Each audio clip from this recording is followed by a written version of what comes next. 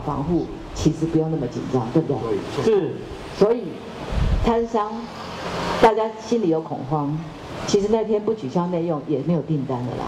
是。就内用的那个产品哈，全部当天，几乎几乎都没有。上个礼拜的那个内用定定定位的其实都取消了。是。那现在怎么样让民众恢复信心呢？